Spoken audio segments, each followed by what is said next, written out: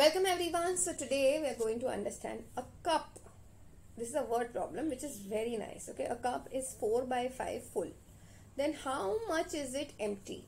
Please understand whenever you have a fraction, okay, so it is understood that the full quantity is supposed to be 1.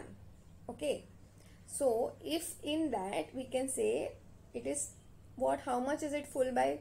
This is 4 by 5. So how much will it be empty? It is x.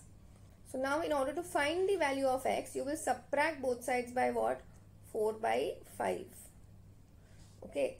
So here, in since there is no denominator to 1, you have to understand that the basic denominator over here continues to remain 1 only. Now, like I said, you cannot, you cannot um, directly subtract the numerators. Okay.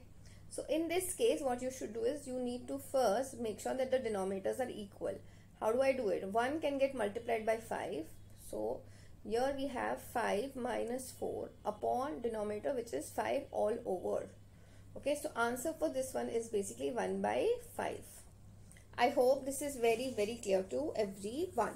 That's it for today. I will see you in the next video.